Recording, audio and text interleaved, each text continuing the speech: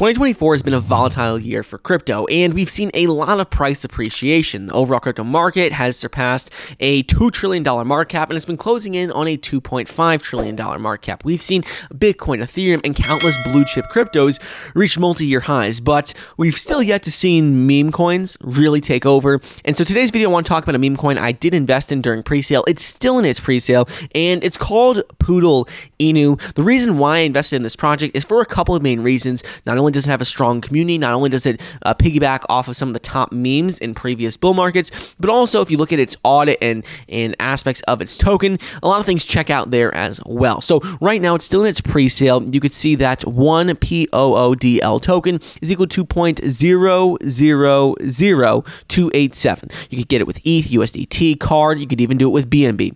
You could do it like we've talked about with other uh, investments in the past where we've gotten to pre-sale. It's pretty simple. You just connect a, a, MetaMask wallet or other wallets. I always use my MetaMask wallet. When you're looking at this, though, the thing that's pretty unique about um, Poodl Inu is that right now the total amount of Poodl Inu staked is 478 million uh, POODL tokens staked. That's something unheard of for a pre sale project to see 67% of all POODL being staked. I think it's because it has that extremely high.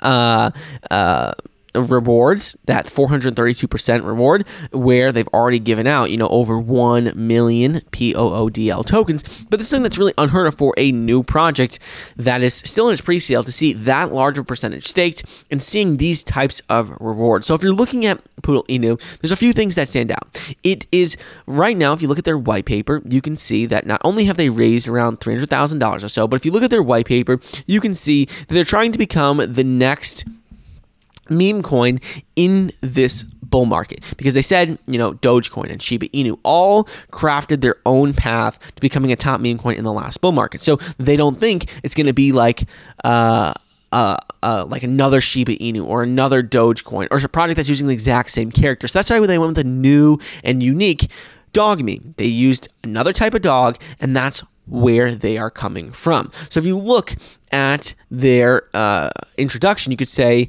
close your eyes, picture this. The year is 2025, crypto is flying, dog coins are pumping, and a fluffy, streetwise mutt named Poodl Inu is leading the pack. They said ultimately they are at the cusp of a major shift of power in the meme coin space, and you're here early enough to witness the revolution. Ultimately, they're saying, look, you know, like in previous bull markets, we've seen Dogecoin with Shiba Inu, we've seen the same dog do extremely well, but they think it's going to be a new version in this bull market where we're going to see another dog really take over. And like I said, a lot of these products are always based off of community, community involvement, and that's why I did invest into this project. So you can see in phase one of their roadmap, phase one, they say Poodle Unleashed. It's going to say that Poodl Inu kicks off the crypto, uh, like kicks kicks off its initial launch with um, having its pre-sale. They're having their POODL token pre-sale, and the price has been increasing over the last few rounds. As we've already seen, it raised quite a bit of money.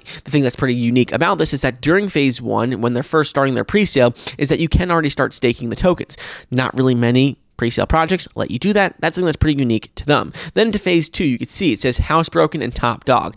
They say who let the dogs out? You did. Uh, let the dogs loose in the backyard and watch them shed losses and poop profits. They said ultimately that this is the stage where you're starting to see listings, see the token really start to take off, and see staking rewards as staking rewards continue to grow more and more. That brings you into phase three, where the community continues to grow. They have an ultimate goal of long term being a $1 billion market cap, and they're trying to become the top meme coin in the crypto space. When we're looking at tokenomics, a few things stand out here. Like many of the meme coins, they have um, pretty unique tokenomics. They have around $6.9 billion of tokens that are going to be released onto the Ethereum blockchain. 50% is going to be the initial uh, offering, which is crucial. That's during this pre sale stage. That's something that I really like to see because it shows it's a really a community driven project. Next thing is going to be 30% to staking. That's something that's also really important because it gives rewards back to its holders, ensuring that the community wants to be involved long term and can ensure that the community continues to grow and thrive. Because if you don't have a lot of staking rewards for new projects that are really based off of staking, people are not going to want to be involved in that project. So that's really ideal seeing that 30% there. 10% for dexes and 10% for marketing. So, really, if you look at all aspects of their tokenomics, it's all geared around them being a project that is strongly driven by its community with high staking rewards, with um, a lot of tokens being available during its pre-sale. It's not making it where only a few people are going to own it and be able to dump all these tokens on holders. It shows that it's really a community-driven project. So if you go ahead and look at all the different aspects of its ecosystem um, and of the project, you can see that it is in its pre-sale. It's going to be a high-risk, high-reward project, but like with meme coins in any bull market, in any market cycle, you got to know that going in. They are high-risk, high-reward, and I personally like to look for ones with strong community strong staking, um, and some unique aspects to them. So with Poodl Inu, I found a lot of those things there, which is why I did invest uh, a little bit of money into its pre-sale.